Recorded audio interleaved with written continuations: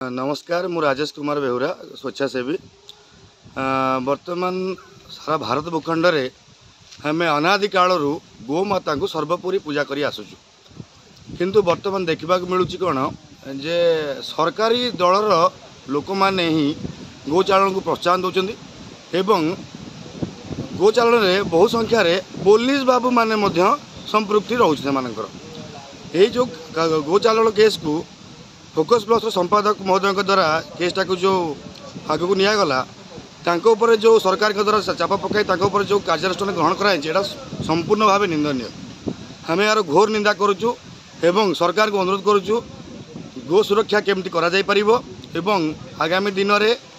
ସାରା ଭାରତବର୍ଷରେ ସାରା ଓଡ଼ିଶାରେ କେମିତି ଗୋମାତାର ସୁରକ୍ଷା ହୋଇପାରିବ ସେଥିପାଇଁ ସରକାର ସଚେତନ ହୁଅନ୍ତୁ ଏବଂ ଜନତା ମଧ୍ୟ ସଚେତନ ରୁହନ୍ତୁ କେମିତି ଆମେ ଗୋର ସୁରକ୍ଷା ଗୋମାତାର ସୁରକ୍ଷା କରିପାରିବା।